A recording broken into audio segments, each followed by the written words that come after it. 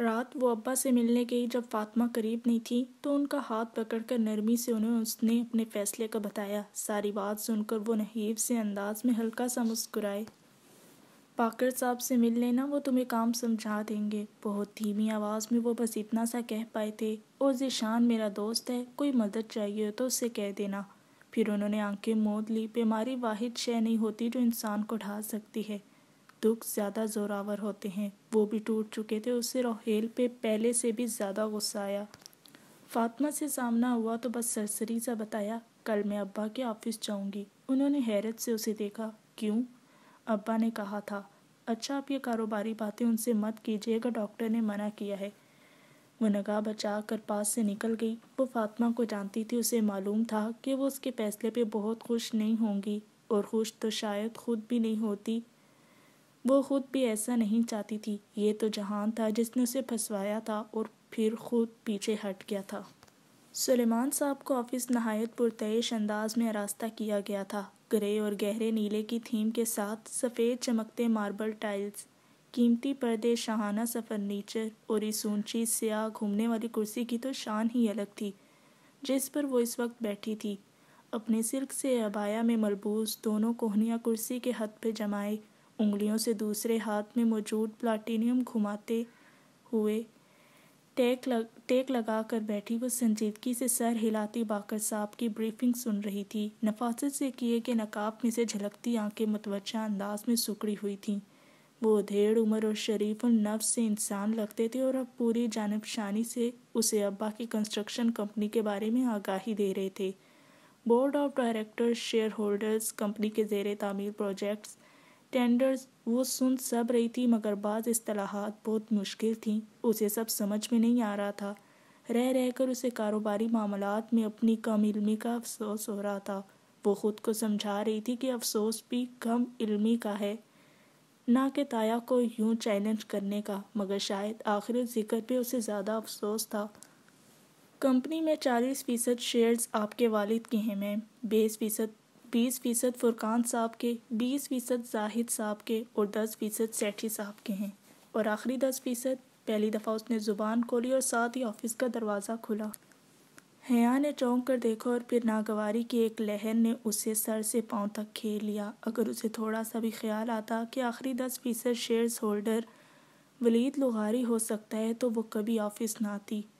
ओह, आप ऑफ़िस आई हैं? वो आप पे ज़ोर देता, तंजिया मुस्कुराहट के साथ बहुत अतमाद से चलता अंदर आया। बाकर साहब के चेहरे पे नागवारी उभरी, मगर वो खामोश रहे। तो सलेमान अंकल की सीट आप संभाल लेंगी? उसके सामने कुर्सी पर खींच कर वो टांग पर टांग रख कर बैठा। क्या बिज़नेस एडमिनिस्ट्रेशन में डिग्री आपने तुर्की से ली है? मगर अब्बा को तो आपने बताया था कि आप एलएलबी कर रही हैं।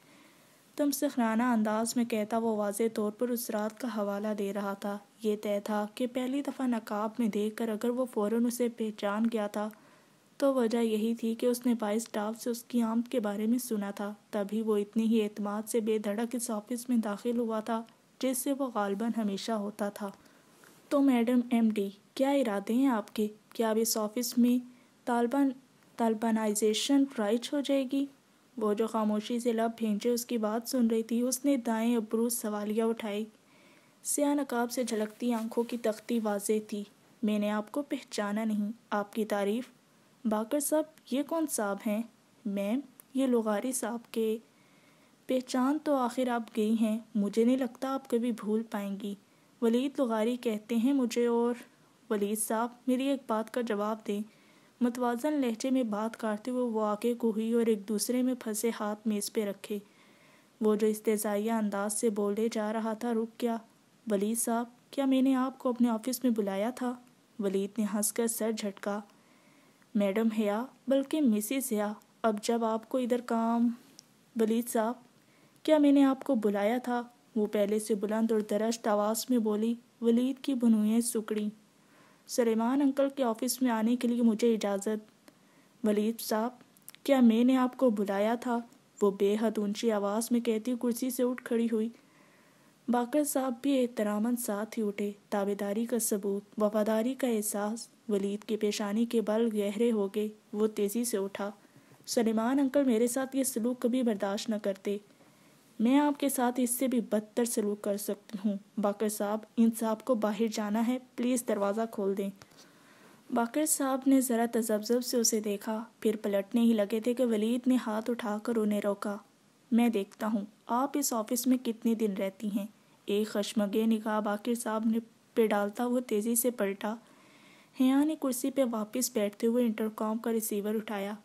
दरख्शां, अगर ये आदमी मुझे दोबारा बिला इजाज़त अपने ऑफ़िस में दाखिल होता नज़र आया तो आपकी छुट्टी। सुन लिया आपने?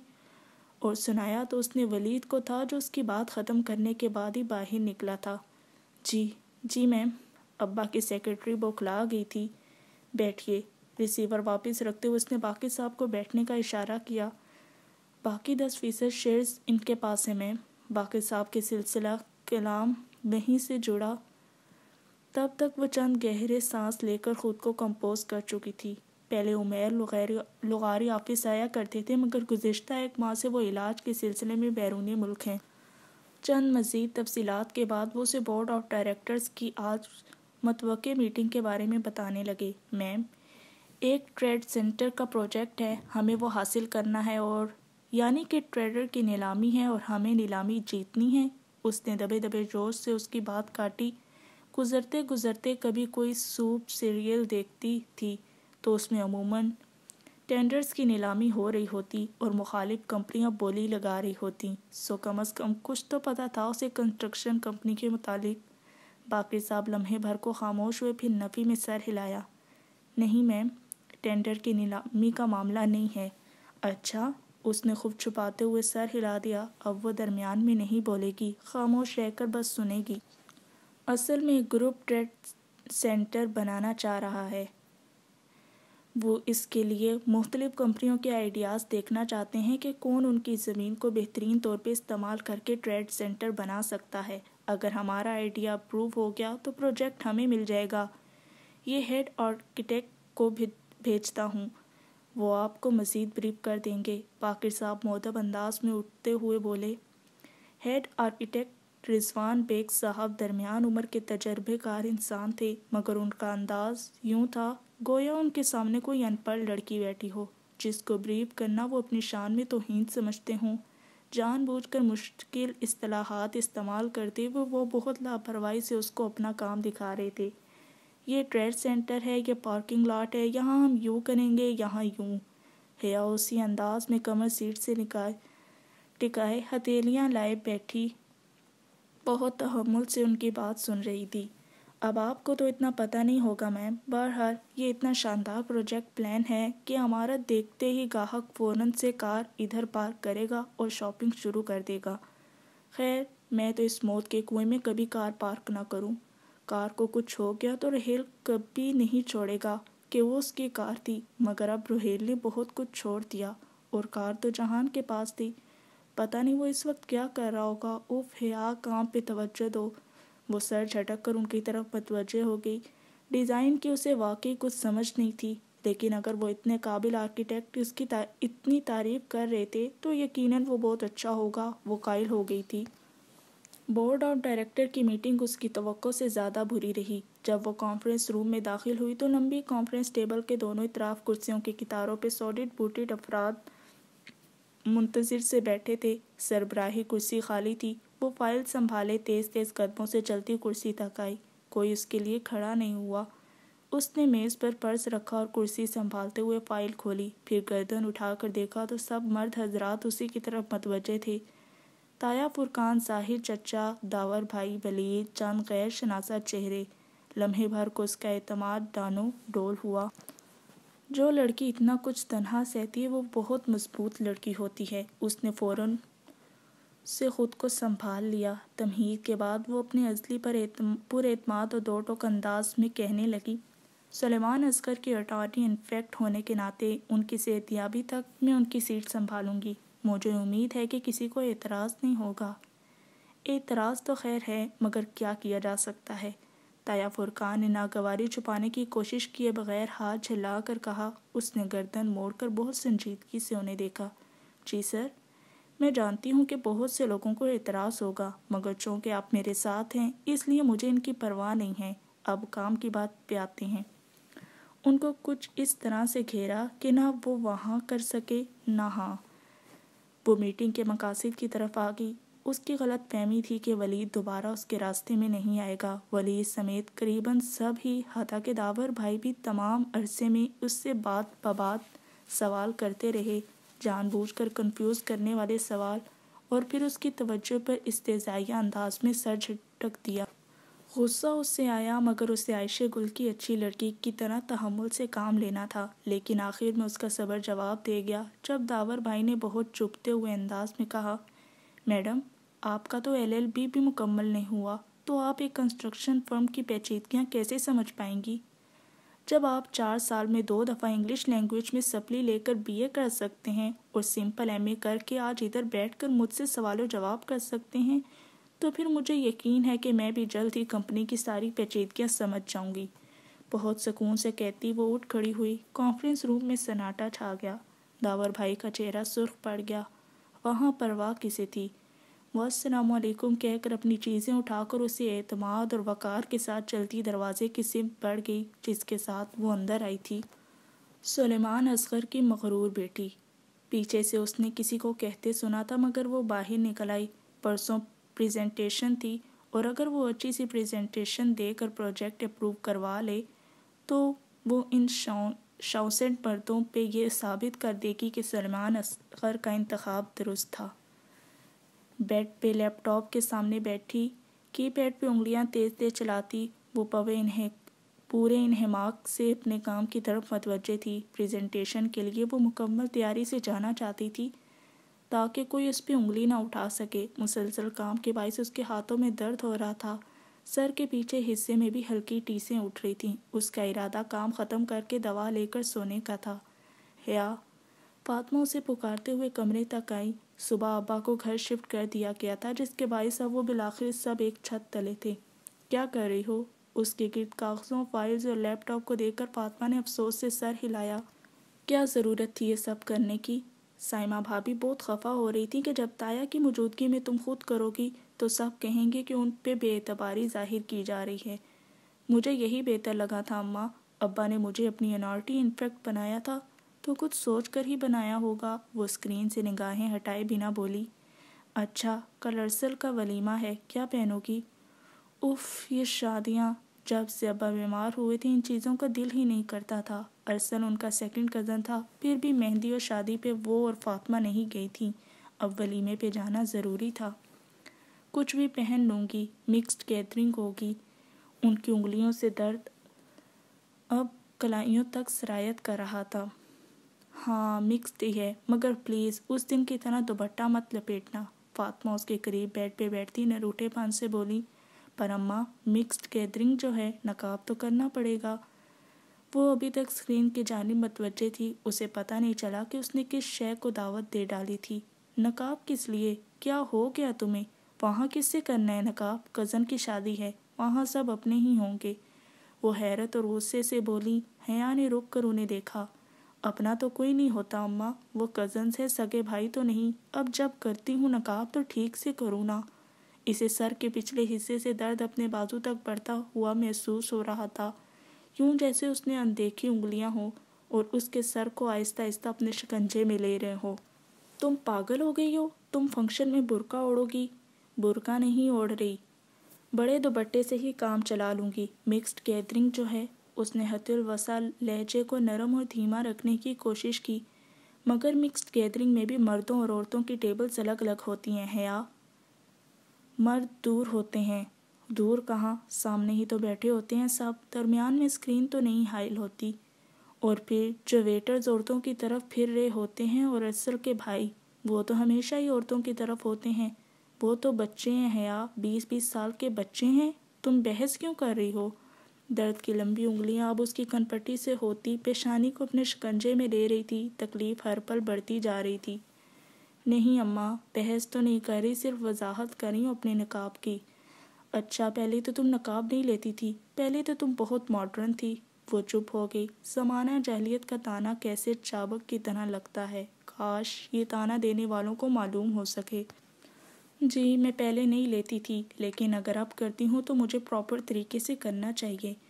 तुम शादी पे नकाब लोगी तो लोग क्या कहेंगे? वो झुंझलाई। नहीं लूँगी तो अल्लाह ताला क्या कहेगा? कुछ नहीं होता है यार, ऐसे भी तो कितने गुनाह कर लेते हैं। गीबत, गीले, ये सब गुनाह नहीं होता। क्या सिर्फ़ नकाब ना करना गुनाह है? दर्द की फौलादी, ग्रिप, उसको सर को जकड़ लेने के बाद अब गर्दन तक फैलती जा रही थी। उसे कंधों पे शदीद दबाव महसूस होने लगा। अम्मा, मैंने कब कहा कि मैं बहुत नेक हूँ या कोई गुनाह नहीं करती? लेकिन अगर मैं कोई नेक काम करना चाहती हूँ तो मुझे मत रोके। उसे लगा वो इल्तजा कर रही है, मन, मिन्नत कर रही है। वो बनो करेजा से मिन्नत कर रही है। अच्छा पहले तो तुमने कभी एहसास नहीं किया गुना सवाब का? जब अब्बा और ताया कहते थे, तब तो तुम मानती नहीं थी। फिर वही पहले का ताना। तो अम्मा अगर मैं ताया के कहने पर अल्लाह की मानती तो मैं काबिल कबूल होती। मुझे शाबाश भी मिलती और वाह वाह भी। लेकिन अगर मैं अपनी मर्ज़ी से अल्लाह की मानूँ तो मैं काबिल कबूल नहीं हूँ। उसने दुख से उन्हें देखा। वो मांस को बर्छी की तरह ज़ख्मी करती, अजियत कंधों से गुजरती, सीने में उतर रही थी। मुझे बेकार के दलाइल मत दो। अपना एल एल बी मुझ पर मत आजमाओ। इनम की मंगनी पे थोड़े लोग थे। बात दब गई। लेकिन अब अगर इतने बड़े फ़ंक्शन पे नकाब लोगी तो जानती हो लोग कितनी बातें बनाएँगे। आप लोगों से डरती हैं जबकि अल्लाह ज़्यादा हकदार है कि उससे डरा जाए। और लोगों का क्या है? साइमा ताई तो पहले भी मुझ पे बातें बनाती आई हैं। मगर फातिमा बेजार हो चुकी थी।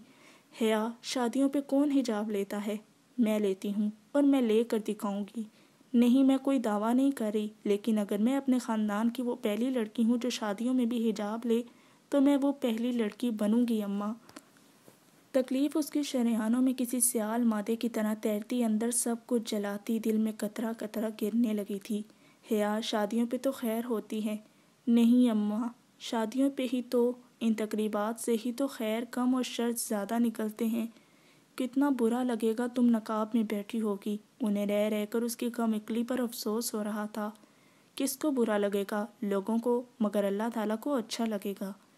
अच्छा यानी हम जो नकाब नहीं करते तो हम सब काफिर हुए? हाँ हम सब बहुत बुरे हुए। मैंने ये कब कहा, अम्मा? मैं खुद नकाब लेती हूँ, मगर किसी दूसरे पर तो तनकीद नहीं करती। मैं तो किसी से कुछ भी नहीं कहती, अम्मा। उसकी आवाज़ भी गई। दर्द अब उसके दिल को काट रहा था, उल्टी छुरी से ज़िबा कर रहा था।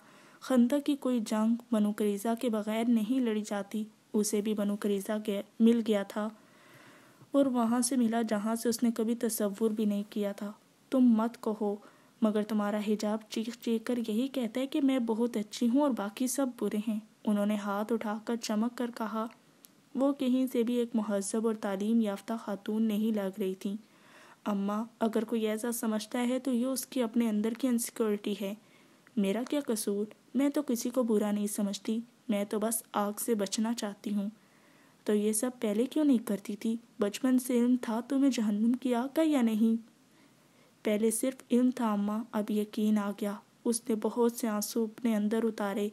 क्या लोगों ने वाकई समझ लिया है कि वो कहेंगे, हम ईमान ले आए और वो आजमाए ना जाएँगे? अच्छा सिर्फ़ पर्दा ना करना गुना है। माँ की बात ना मानना गुना नहीं है। क्या कुरान ने, में नहीं पढ़ा कि वालदेन को उफ भी नहीं करते? उसने जवाब में गहरी सांस ली, अम्मा आपको भी पता है और मुझे भी पता है कि आप इस आयत को गलत जगह पे गलत तरीके से कोट कर रही हैं। मैं आपको नाराज़ नहीं करना चाहती, मगर मैं अल्लाह ताला को भी नाराज़ नहीं कर सकती। बस करो, पता है मुझे, ये सब तुम जहान के लिए कर रही हो, वही ऐसी दकियानुस्ती सोच का हामिल। तुर्की में रहकर भी फ़र्क नहीं पड़ा उसे। देखती हूँ मैं किस तरह रोज़े फजर पे मस्जिद जा रहा होता है। रोज़ फजर पे मस्जिद जा रहा होता है। अम्मा कोई लड़की अपनी मर्ज़ी से हिजाब लेने लगे तो ये सब ये क्यों फ़र्ज़ कर लेते हैं कि वो किसी के दबाव में आकर ये कर रही है? कोई ये मानने को तैयार क्यों नहीं होता कि उस लड़की का अपना दिल भी कुछ कह सकता है? मगर पहले तो तुम नहीं करती थी ना? वो गुस्से से कहती उठी, और करो जिससे भी करना है नकाब। मैं कौन होती हूँ कुछ कहने वाली? वो तन फन करती बाहर निकल गई।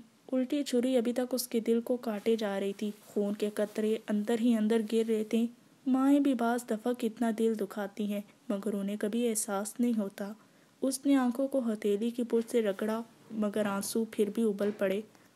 जाड़े और भूख की तकलीफ़ में खंदक खोदना खुटन होता है, या बनु क्रीज़ा की बेवफाई सहना? उसने खुद से पूछा, और अगर ये दोनों साथ मिल जाएँ तब? उसका दिल अभी तक तकलीफ़ से रस हो रहा था। प्रेजेंटेशन अच्छी चली गई, जबकि वलीमे का फ़ंक्शन उससे भी अच्छा। आज उसने नेवी ब्लू लिबास पहना था और बड़ा सा दुपट्टा वैसे ही लिया, जैसे इरम की मंगनी पे लिया था। बैठी भी ज़रा अलग थी, मगर ये नहीं कि कट कर रही, बल्कि हर एक से मिली, वही सवालों जवाब का सिलसिला अलबत्ता जारी रहा। चेहरे से तो हटाओ, ये वो फिक्रा था जो हैरत और अचंभे से बहुत लोगों ने आकर दोहराया, और जवाब में वो एक सादा मुस्कुराहट के साथ कहती रही थैंक यू मैं बिल्कुल ठीक हूँ। अलबत्ता सब की बातें दिल पे बहुत ज़ोर से लगती थी। फातिमा ने कितनी ही दफ़ा उससे आँख से इशारा किया कि चेहरा पूरा खोल ले, मगर जवाब में वो अबरू से पीछे की तरफ़ इशारा करती जहाँ मूवी मेकर मूवी बना रहा था, वो झुंझरा गई। ओहो फैमिली वीडियो अपनों में ही रहेगी बाहर थोड़ी दिखाएँगे?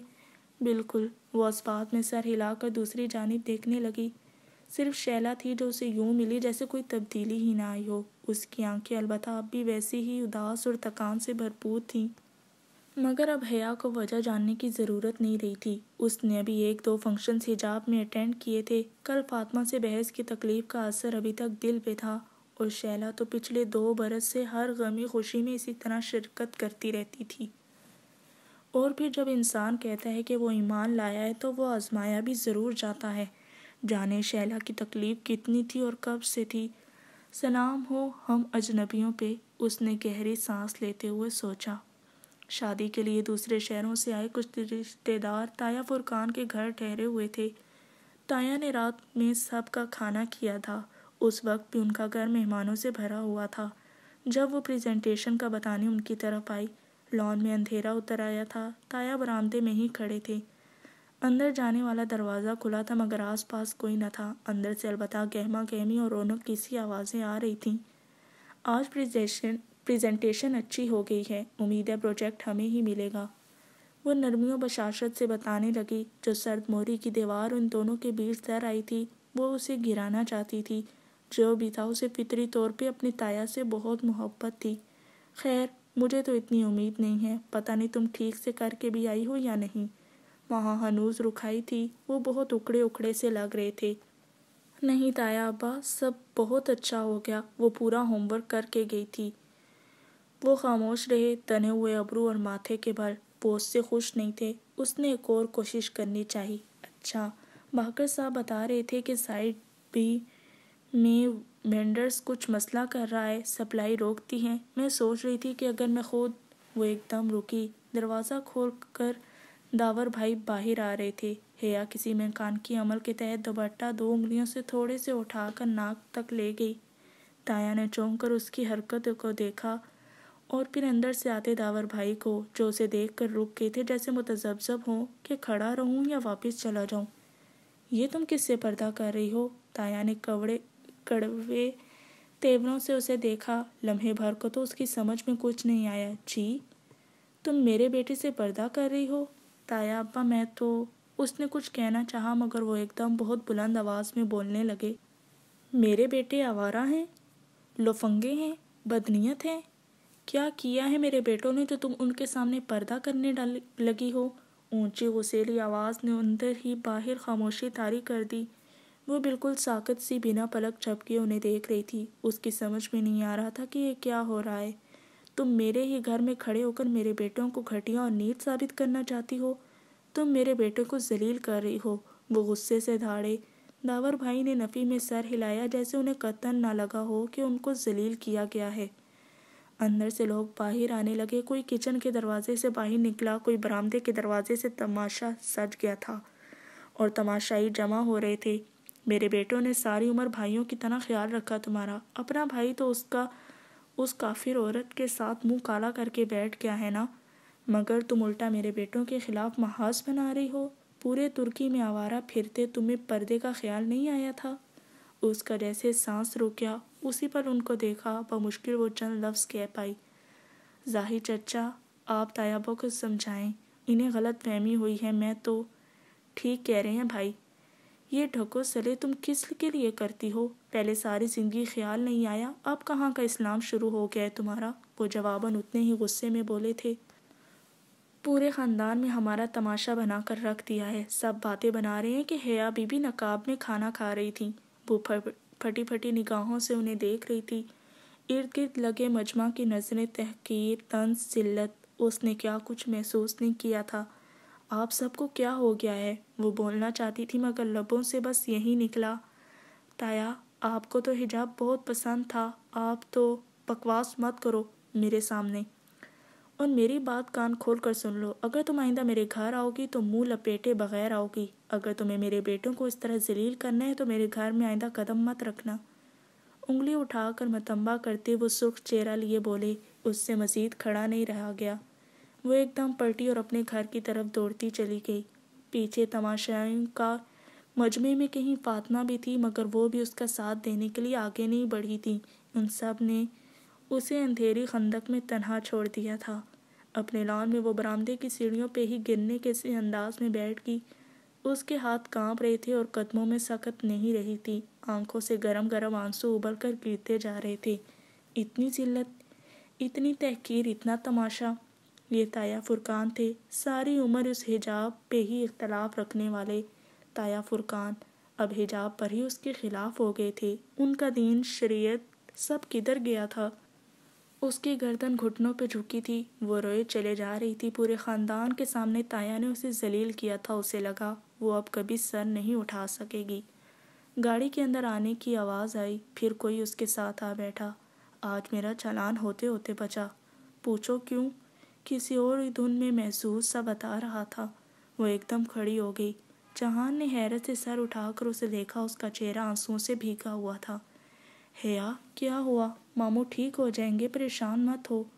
उसने यही अंदाज़ा लगाया कि वो अब्बा की वजह से रो रही है। कुछ ठीक नहीं होगा। अब कभी कुछ ठीक नहीं होगा। वो रोते हुए इतना ही कह पाई। फिर आँसू हर मंजर पे गालिब आने लगा। वो पूछता रह गया, मगर वो अंदर दौड़ती चली आई थी। पूरी रात वो सो नहीं सकी। इतनी जिल्लत, इतना तमाशा। ताया दुरुस्त भी होते, फिर भी ये कौन सा तरीका था बात करने का? अब तक पूरे ख़ानदान को पता चल चुका होगा। वो हर जगह बेइज्जत होकर रह गई थी। रात भर वो रोती रही। सुबह सर भारी हो रहा था। फ्रेश होने तक उसने फैसला कर लिया था कि आज वो अब्बा से बात करके ताया अब्बा को उनका अटॉर्नी इन्फेक्ट बना देगी। ताया अब्बा को मसला उसके हिजाब से नहीं, उसके ऑफ़िस आने से था। सो अब वो ये सारा मसला ही ख़त्म कर देगी। नाश्ते की मेज़ पर वो और फातमा अकेली थी। सबीन फूफो अब्बा को नाश्ता करवा रही थी और जहान पता नहीं कहाँ था। ये होता है माँ बाप की नाफरमानी का अंजाम। सारे ख़ानदान में बेइज्जती करवा कर रख दी। फातमा खुफकी से बोले जा रही थी, वो सर झुकाए चंद लुकमे पर मुश्किल जहर मार कर सकी। फिर उठाई। ऐसे लम्हों में वो इस सेमिनार में वापस पहुँच जाया करती थी। जो उसने अनातोलिन इस्तंबुल में अटेंड किया था, उसे शीशे की दीवारों से टक्कर खा कर गिरती चिड़ियाँ याद आती थीं। उसने भी तो अपने गिर्द ऐसी ही दीवार खड़ी कर दी थी, और ये लोग तो उन्हीं परिंदों की तरह थे। पहले वो उनकी बात सुन लेती थी तो वो समझते थे कि अब भी सुनती रहेगी। वो इस तरह उसको थका नहीं सकते थे। शीशे की दीवारों से टकराने में नुकसान परिंदों का ही होता है। दीवार को क्या फ़र्क पड़ता है? अब्बा उसी तरह नहीं, वो कमज़ोर से लग रहे थे। उसे देखकर ज़रा से मुस्कुराए। काम कैसा जा रहा है? सब ठीक है अब्बा। उसने बहुत से आँसू अपने अंदर उतार लिए और बज़ाहिर मुस्कुरा कर बोली, बहुत मेहनत कर रही है ये लड़की। फुप्पो मुस्कुरा कर कहती, नाश्ते के बर्तन उठा रही थी। पता नहीं उन्हें रात के वाक़े का इल्म था या नहीं, फिर भी उनसे निगाह ना मिला सकी। ऑफ़िस में एक बुरी खबर उसकी मुंतज़र थी। ट्रेड सेंटर का प्रोजेक्ट उन्हें नहीं मिला था। इस बात ने तो उससे मज़ीद शकिस्ता दिल कर दिया। उसने बाकर साहब को बुलवाया था कि उनको अपने इरादे से आगाह कर दे और वकील साहब को बुलवा सके, मगर पहले उसने बेख्तियार ही वो तकलीफ़ थे मौजू खुद ही उठा लिया। इतनी अच्छी प्रेजेंटेशन दी थी, फिर हमें प्रोजेक्ट क्यों नहीं मिला? रात के वाक़े की थकन और रजियत उसकी आँखों में उतर आई थी। उन्हें हमारा प्लान पसंद नहीं आया। वो शायद कुछ और चाहते थे। अच्छा वो खामोश हो गई। कुछ सोचकर उसने बाकर साहब से कोई बात नहीं की और उन्हें भेज दिया। उनके जाने के बाद उसने सारा प्रोजेक्ट प्लान निकाला और राज सरनो जायज़ा लेने लगी। ठीक है कि वो आज ऑफ़िस छोड़ देगी और ये भी ठीक है, उसे मामला का कोई तजर्बा नहीं। मगर वो सिर्फ़ ये देखना चाहती थी कि उससे गलती कहाँ हुई। तमाम खाके अच्छे थे। बकौल आर्किटेक्ट बेहद शानदार, मगर जब उसने पहली दफ़ा उनको देखा था तो उसके जहन में क्या बात आई थी। कुछ गैर आरामदेह लगा था उसे। उसने जहन पर ज़ोर दिया और एकदम किसी बहती नदी के ख्याल उसके जहन में उमड़ आया। मौत का कुआँ। और अगले ही लम्हे उसे गलती नज़र आ गई। तावर भाई की शादी की कुछ शॉपिंग फातिमा और उसने लाहौर से की थी। किसी काम से वो शायद आलमी मार्केट चले गए। गलती ये की कि अपनी कार ले गए। वहाँ एक मल्टी स्टोरी पार्किंग बिल्डिंग में कार पार्क करना पड़ी। वो भी चौथी मंजिल पे। गोल गोल घूमती मंजिलें, तंग तारीख जगह। गाड़ी ऊपर चढ़ाना गोया यूँ था जैसे मौत के कुएँ में ड्राइव करना। तब से उसे मल्टी स्टोरी पार्किंग अमारात बहुत बुरी लगी थी। और अब उसके प्लान में ट्रेड सेंटर की पार्किंग एक छोटे रकबे पे मल्टी स्टोरी बनाई गई थी। उसे तामीराती कामों का तजर्बा ना था, मगर शॉपिंग का एक तवील और वसी तजर्बा था। फिर ये इतनी बड़ी गलती उसे पहले क्यों नज़र नहीं आई? शायद इसलिए कि वो पहले खुद को कम इल्म समझकर आर्किटेक्ट पर भरोसा कर रही थी। अंधी तकलीफ़, मगर अब अपनी अकल से सोचा तो चौंक गई। लोग एक खुला और ज़मीनी पार्किंग लॉट पसंद करते और मल्टी स्टोरी पार्किंग बिल्डिंग्स तो उधर कम ही बनती हैं। फिर आर्किटेक्ट ने ऐसा क्यों किया? वो जा ही रही थी तो ज़रा उन साहब से दो टोक बात तो कर ले, यही सोचकर वो बाहर आई। तुर्कों से उसने खुद चल कर जाना सीखा था। वहाँ किसी से रास्ता पूछो तो वो आपके साथ चलकर अखीर मंजिल तक छोड़ आता था। सो वो खुद आर्किटेक्ट साहब से मिलने चली आई, लेकिन कॉरिडोर के सिरे पे वो एकदम पीछे हुई। वलीद और आर्किटेक्ट रिजवान साहब किसी बात पे हँसते हुए अंदर जा रहे थे। उल्टे कदमों वापस आई, एक सुर्ख बत्ती जलने बुझने लगी थी। कहीं कुछ गलत था, कोई गड़बड़ थी। वापस अपनी सीट पे बैठी, वो कितनी ही देर सोचती रही, फिर अपने पर्स में मोबाइल के लिए हाथ डाला तो वो मखमल का टुकड़ा भी नज़र आ गया, जिस पे सुनहरी धागे से दो अल्फाज लिखे थे। वो उसे दो उंगलियों से घुमाती उलट पलट करती सोचती रही, फरार हर मसले का हल नहीं होता, मसलों का हल ढूंढना पड़ता है, रास्ता तलाश किया जाता है। मेजर अहमद का सबक उसे याद था। चंद मिनट में उसने अपना इरादा बदल दिया वो फिर से काम करने के लिए तैयार थी। कोई उसके बाप से गद्दारी कर रहा था, उसे सारी गड़बड़ के मम्बा को ढूंढना था। कॉन्फ्रेंस रूम में सब जमा थे। वो बिना किसी को देखे सरबराही कुर्सी पर आकर बैठ तो गई थी, मगर सर उठाकर ताया फुरकान, दावर और ज़ाहिर चचा को देखना, उनसे निगाह मिलाना कितना अजियतनाक था। उसे अंदाज़ा नहीं था। रात के ज़ख्मों से फिर से खून रसने लगा था, मगर वो कितने आराम से उसके सामने बैठे थे, जैसे कुछ हुआ ही ना हो। तो आपने प्रोजेक्ट हार दिया। ताया फुरकान ने नहोद भरी संजीदगी से उसे मुखातिब किया। उसने अपना झुका हुआ सर उठाया। वो ताया फुरकान की बेटी की तरह रात के पकड़े नहीं गई थी, जैसा कि ताया ने एक दफ़ा उसे फ़ोन किया था कि वो सर न उठा सकती। ना ही वो ज़ाहिर चचा की बेटी की तरह पूरे ख़ानदान में चीख चिल्ला कर दावर भाई को बेइज्जत करने की मुजरिम थी। ज़ाहिर चचा ने उसे सख्त सुनाते हुए अपनी बेटी की हरकत को क्यों फरामोश कर दिया और ताया ने भी कभी दावर की इस बेइज्जती पे बास पुरस की? फिर अब? मगर वो हिजाबी लड़की थी और कोई हिजाबी लड़की ये कितना ही कीचड़ उछालने की कोशिश करे उसे मैला नहीं कर सकता था। जी सर, मैंने हार दिया। ताया की आँखों में आँखें डालकर उसने सपाट अंदाज में कहा, क्या आप वजह बताना पसंद करेंगी? वलीद की बात पे उसने गर्दन मोड़कर उसी संजीदगी से उसे देखा। मैं आपको जवाब दे नहीं हूँ, वलीद साहब। दुरुस्त। फिर आपको मैं मतला करना चाहूँगा कि हम ग्रीन हाउस स्कीम वाला प्रोजेक्ट डिले करने पे मजबूर हो चुके हैं। क्यों? वो चौंकी। उसे मालूम था कि वो कितना अहम प्रोजेक्ट था, क्योंकि बजट नहीं है। फंड्स कम पड़ रहे हैं। हमारे पास इसको कैरी ऑन करने के लिए इतना पैसा नहीं है। उसने कागज़ हया की तरफ़ पढ़ाया जिस पे एक लंबा सा टैगर लिखा था।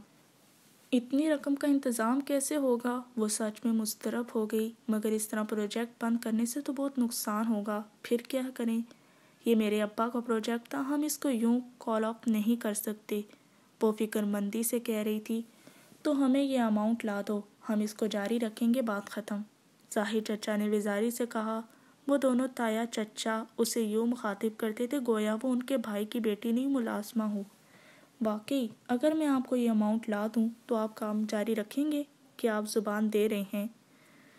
उसका लहजा तेज़ हो गया, उनका चैलेंज करता, मज़ाक उड़ाता अंदाज उसे पहले से ज़्यादा बुरा लगा था। रात के जख्म फिर से खुरचने लगे थे। बिल्कुल, ताया फुरकान ने शाने चटके, ठीक है मैं पीर की सुबह आपको अपने फ़ैसले से आगाह कर दूँगी। वो फ़ाइल बंद करते हुए हतमी अंदाज में बोली, फिर जब वो ऑफ़िस वापस आई तो मोबाइल बज रहा था। उसने कुर्सी पे थके थके अंदाज में गिरते हुए फ़ोन उठाया। नंबर जहान का था। कैसी हो? वो छूटते ही फिक्रमंदी से पूछने लगा, ठीक हूँ। उसने उंगलियों से पेशानी मसलते हुए जवाब दिया बेख्वाबी के बायस सर बेहद दर्द कर रहा था। चलो फिर लंच साथ करते हैं। मैंने एक छोटा सा इटालियन रेस्टोरेंट देखा है, तुम्हें एड्रेस समझाऊं? सारे दिन में वो पहली दफ़ा हँसी थी। ये मेरा शहर है, जहान। मुझे इसके सारे रास्ते मालूम है। रेस्टोरेंट का नाम बताओ। वो भी हल्का सा हंस दिया। ओह सॉरी एफ़ टेन में इटालियन ओवन पे आ जाओ। कार ड्राइवर चला रहा था। वो पिछली नशिस्त पे बैठी सेल फ़ोन पे नंबर मिला रही थी। उसने अब्बा की नसीहत पे अमल करने का सोचा था। कॉल मिलाकर उसने फ़ोन कान से लगा दिया। सर, शुक्र कि उन्होंने कॉल रिसीव कर ली। अस्सलाम वालेकुम जिशान अंकल, मैं हया बात कर रही हूँ। कार ट्रैफ़िक के साथ बहती चली जा रही थी। उसी तरह उसके तने परेशान एसाब ढीले पड़ते जा रहे थे। उनसे बात ख़त्म की तो ऑफ़िस से फ़ोन आ गया। वेंडर मॉल की सप्लाई खोलने पे तैयार ना था और पुरानी कीमत पे तो हर गिज नहीं। सरासर ब्लैक मेलिंग थी और ब्लैक मेलर से तो उससे सख्त नफरत थी। कल मेरी मीटिंग अरेंज करवाते वेंडर से। मैं उन साहब से खुद बात करना चाहूँगी। उसने बंद कर दिया। कार रेस्टोरेंट के सामने आ खड़ी हुई थी। वो तालवी रेस्टोरेंट की बालाई मंजिल की सीढ़ियाँ चढ़ती ऊपर आई। दोपहर का वक्त था, तमाम मेज़ें खाली थी। हॉल की एक दीवार शीशे की बनी थी, जिससे नीचे डबल रोड और उसके पार ग्रीन बेल्ट के दरख्त सब्जा नज़र आ रहा था। शीशे की दीवार के साथ कोने की मेज़ पे वो बैठा था। उसे आते देखकर वो धीरे से मुस्कुराया। वो बिना किसी वक्त के उसे नकाब में पहचान लेता था। पहली दफ़ा जब वो नकाब में उसके पास गई थी, फ्रीडम फ्लोटेला के एहतजाज के दिन, तब भी उसने कोई हैरानी ज़ाहिर नहीं की थी। शायद वो हैरान कम ही होता था। पहले फैसला कर लो कि लंच किसकी तरफ़ से है। कुर्सी खींच कर बैठते हुए उसने मेज़ पर अपना पर्स रखा। ऑफ़ कोर्स तुम्हारी तरफ़ से है। असगर एंड सिंस की कायम मकाम एमडी मुझ गरीब आदमी को लंच तो करवा ही सकती है। श्योर उसने बशाशत से कहते हुए मोबाइल पर्स में रखने के लिए पर्स खोला। मखमल का टुकड़ा अंदरूनी जेब में हज़ार के एक नोट के साथ रखा था। हज़ार का नोट? वो जिप बंद करते हुए चौंकी। फिर बिना महसूस से अंदाज में पर्स को अंदर से देखा। उसका रोपों वाला पाउच ऑफ़िस में ही रह गया था। अब सिवाय इस लावारिस से नीले नोट के उसके पास कुछ नहीं था। अल्लाह अल्लाह कारोबारी उलझनों में पाउच उठाना याद ही नहीं रहा। अब क्या करे? क्या हुआ? एमडी साहिबा पैसा तो नहीं भूल आई? वो मुस्कुराते हुए से देख रहा था। एक तो इस आदमी की अकाबी नज़रें उसने संभल कर पर्स बंद कर दिया। तुम एमडी साहिबा से ऐसी गैर जिम्मेदाराना हरकत की तो कर सकते हो? बज़ाहिर मुस्कुराते हुए वो सीधी हुई। नहीं, खैर ऑर्डर करो, तुम्हारा शहर है, तुम्हें ज़्यादा पता होगा। वो पीछे होकर बैठ गया। हिया ने शोर कहते हुए मेन्यू का ऑर्डर किया। उसको लंच करवाना था और वो भी हज़ार के नोट से। एटीएम भी पाउच में था और वो कोई ऐसी हरकत नहीं कर सकती थी जिससे जहान जहान को पता चले कि वो पैसे वाकई भूल आई है। वरना अदायगी कर देगा, सवाल अना का था। लेकिन एक हज़ार में उसे अतालवी लंच कैसे करवाऊं? उसने कदरे, इस तरह से फहरिस्त देखी। सुनो, सिर्फ़ मेन कोर्स मंगवाना। सराद स्टार्टर और ड्रिंक्स के फालतू अखराज मुझे पसंद नहीं हैं। वो कुर्सों की, कुर्सी की पुश्त से टेक लगाए, मुस्कुराहट दबाए, उसे बगौर देखता कह रहा था, ओके, मुझे तो खासी भूख नहीं है। दिल ही नहीं चाह रहा। ऑर्डर देकर उसने कार्ड रख दिया। जहान ने मुस्कुराहट दबाते हुए समझकर सर हिला दिया। चंद लम्हे खामोशी की नज़र हो गए। वो शीशे की दीवार से बाहर देखने लगी उस शीशे से तो कोई परिंदा नहीं आ टकराया था। शायद परिंदे तामीर के बाद सिर्फ़ पहले मौसम में टकराते हों, बाद में आदि होकर रास्ता बदल लेते हों। रास्ता परिंदों को ही बदलना पड़ता है। दीवार वैसे ही खड़ी रहती है। कल क्या हुआ था? हिया ने निगाहें मोड़कर उसे देखा। अब तक तुमने पता करवा ही लिया होगा। बहरहाल, ताया ने सारे ख़ानदान के सामने मेरे पर्दे की वजह से मुझे बेइज्जत किया। तमाशा बनाया और घर से निकाल दिया। इसके अलावा कुछ ख़ास नहीं। जहान ने कदरे तासुब से नफ़ी में सर हिला दिया। पुरानी आदतें आसानी से नहीं जाती। इस तरह लोगों को जलील करने के वो आदि हैं। कितना आसान है उनके लिए अपनी अना के पीछे रिश्ते तोड़ देना। जो भी हैं, मैं अब्बा की कुर्सी उनके लिए खाली नहीं करूँगी। ये फ़ैसला मैंने कर लिया है, अब इस किस्से को बंद कर देते हैं। तुम बताओ, तुमने तुर्की वापसी का क्या सोचा है? सब मुझसे यही पूछते हैं कि वापसी का क्या प्रोग्राम है। लगता है मुझसे तंग आ गए हैं। दिल करता है मेरा कि मासन की तरह कबूतर बनकर किसी गार में छुप जाऊँ। उसने गालबन कोई तुर्क मुहावरा बोला था। खैर, अभी कुछ दिन इधर हूँ। तुम्हें कब जाना है? जुलाई शुरू हो चुका है। मुझे पाँच जुलाई के बाद क्लियरेंस करवानी है। अब्बा की तबीयत ज़रा संभल जाए, फिर जाऊँगी। लंच आ गया तो वो अपने नकाब से बासानी छुरी कांटे की मदद से खाने लगी। फिर किसी ख्याल के तहत पूछा जहान तुम्हें मेरा नकाब, मेरा मतलब है तुम्हें अच्छा लगता है मेरा यूँ नकाब लेना। वो ज़रा चौंका था। आ हाँ ठीक है। उसने ज़रा उलझते हुए शाने उचकाए वो मुतमिन होकर खाने लगी, मगर वो चंद लम्हे उसे देखता रहा था। बिल आया तो उसने एक मुतमिन सी सांस अंदर को उतारी। 950 सिर्फ़ दो मेन कोर्स मंगवाए थे। इसलिए साबित हुआ कि अगर पैसे कम हो तो बंदे कोल्ड ड्रिंक सलाद और स्टार्टर जैसे फालतू लवाजमात से परहेज करना चाहिए। यकायक किसी ख्याल के तहत वो चौंकी फालतू लवाजमात उसका जहन ऑफ़िस की तरफ़ भटक गया, जहाँ ने नरमी से उससे बिल ले लिया। मैं पे करूँगा। वो चौंकी नहीं ये तो मुझे, मैं मज़ाक कर रहा था। लंच मेरी तरफ़ से है। वो बिना एक लफ्ज़ सुने फ़ाइल में पैसे रखने लगा। उसने इसरार नहीं किया। उसका जहन किसी और ही तरफ़ उलझा हुआ था। फालतू लवाजमात